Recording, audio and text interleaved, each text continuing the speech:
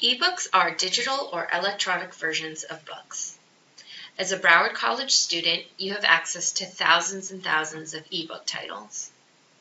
The titles range in subject from general to technical, but most are academic in nature. You can download ebook titles onto your different devices. You also have the ability to search within the book to quickly jump to specific sections, highlight passages, look up words and terms, as well as get your APA or MLA citations of the book. There are several ways to access the Broward College Library ebooks. I'm going to show you how to access them via D2L. So start by logging into D2L. Once you are logged in, scroll down to the Help section and click on the Library Resources link. Under Finding Articles and eBooks, click on the Search eBook Catalog link. Type in your research topic or search term. I'm going to type in the topic of fast food.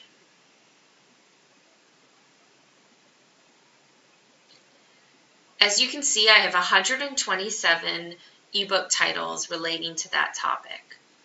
On the left side, I can narrow my results by format, subject, publication year, and more. Once I find a title that I'm interested in, I will click on the click here for this e-resource link. And here is my ebook. I can read the ebook online or download it.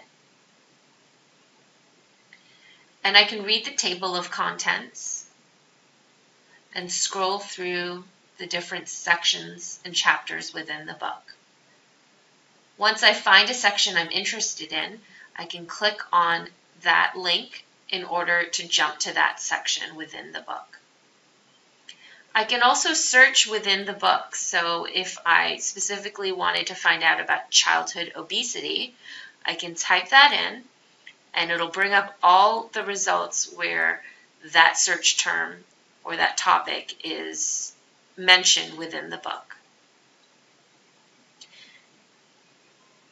I can browse that the sections and click on it and it'll jump to that section in the book. As you can see on the top, I have the ability to download, print parts of the book, as well as get my citation of it, the book. There's MLA and APA. And I can also highlight passages within the book. Got more questions? Feel free to contact me, your BC online librarian, with any library or research related questions. As always, good luck!